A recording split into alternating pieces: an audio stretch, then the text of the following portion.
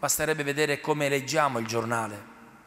Andiamo subito alla ricerca della cronaca e non delle cose belle. Ma avere fiducia significa mettere la mia vita nelle mani di Dio, credere che soltanto Lui può dare sapore, importanza e gioia al mio vivere.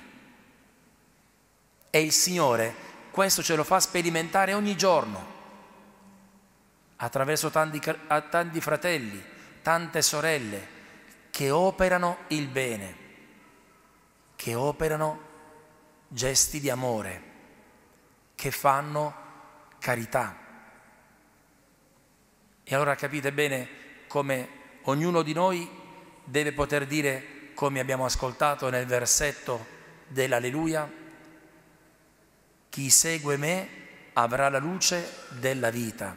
Signore, noi ti vogliamo seguire, ma non te lo diciamo perché vogliamo ottenere qualcosa perché sappiamo che tu sei per me, sei per noi la verità, la via e la vita.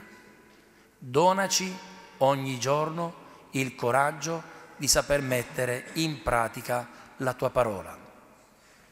Chiediamo l'intercessione di Maria, colei che ha creduto alla frase che una donna le diceva, beato il grembo e invece Gesù risponderà, beato chi ascolta la mia parola e la mette in pratica. Bene, Maria è stata la prima. Ecco, ci insegna a fare altrettanto, come nelle sue parole alle nozze di Cana dirà, fate quello che lui vi dirà.